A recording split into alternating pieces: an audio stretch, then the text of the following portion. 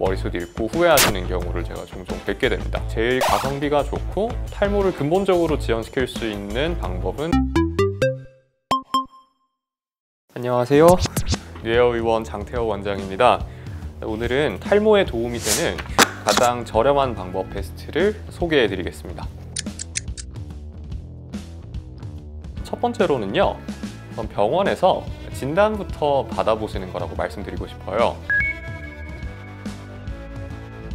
내가 정말 탈모일까? 약간 의심스러워서 진단을 받지 않고 나빠질 때까지 방치하시는 경우가 있죠. 정확한 이유를 파악하지 않고 이것저것 다른 것 많이 해보시다가 머리숱 잃고 후회하시는 경우를 제가 종종 뵙게 됩니다. 당연히 기회비용도 훨씬 커지게 되겠죠. 증상을 느끼신다면 하루라도 빨리 가까운 피부과나 모발이식 전문 클리닉에 상담 받아보시는 것이 제일 가성비가 좋다고 말씀드리겠습니다. 두 번째로는요, 탈모약을 복용하는 것입니다. 제일 가성비가 좋고 탈모를 근본적으로 지연시킬 수 있는 방법은 탈모약을 드시는 것 밖에는 없다고 생각하셔도 좋을 것 같아요. 그래서 어떤 치료를 하시더라도 부작용이 있거나 하지 않다면 탈모약은 꼭 반드시 드셔야 합니다. 세 번째로는요. 어, 모발에 좋은 영양제 같은 것을 드시는 방법을 고려해 보실 수가 있어요.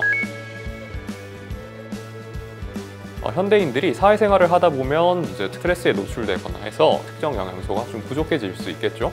물론 드라마틱한 효과를 기대하고 이제 권해드리는 건 아니지만 그래도 드셔서 조금이라도 도움이 된다면 여러분들께서도 한번 시도해 보시면 좋을 것 같습니다. 네 번째로는요, 술, 담배 끊고 주기적으로 운동하기입니다.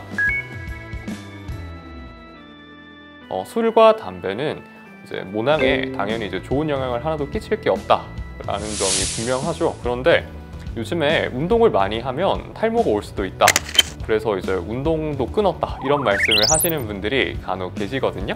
이 걱정은 내가 열심히 지금 알바를 했는데 이건희처럼 부자가 되면 어떡하지? 이런 고민이랑 똑같은 맥락이거든요. 일반인으로서 할 수 있는 어떤 격한 운동을 하시더라도 탈모에 큰 악영향을 주지는 않습니다. 오히려 모발 상태가 전반적으로 개선된다는 그런 연구들이 있으니까 걱정하지 마시고요. 술, 담배 끊으시고 운동 열심히 하시는 게 좋겠습니다. 다섯 번째로는요. 네, 스트레스를 덜 받는 게 역시 중요하겠습니다. 스트레스를 안 받는 건 사실 뭐 살면서 불가능하겠죠. 그렇지만 스트레스가 굉장히 심한 경우에 전반적인 건강 상태가 나빠져서 모발 상태도 안 좋아질 것이고요. 증상이 좀 심한 경우에는 휴지기 탈모를 유발해서 어, 치료를 받으셔야 하는 그런 탈모 증상을 일으킬 수도 있습니다. 그래서 스트레스 관리를 잘 하시는 것만으로도 모발 상태가 상당히 좋아지실 수 있다고 말씀드리겠습니다. 마지막으로는요, 듀에어 채널 보기 권장해 드리겠습니다. 유전성 탈모, 휴지기 탈모, 뭐 여성형 탈모 여러 가지 탈모에 대해서 저희가 최대한 다양한 자료 여러분들께 소개해드리고 있으니까요. 어, 구독해 주시면은 여러분들 머리숱 지키는데 많은 도움이 될 것 같습니다. 감사합니다. 궁금하신 점 있으시면 댓글로 남겨주세요. 직접 답변 드리겠습니다.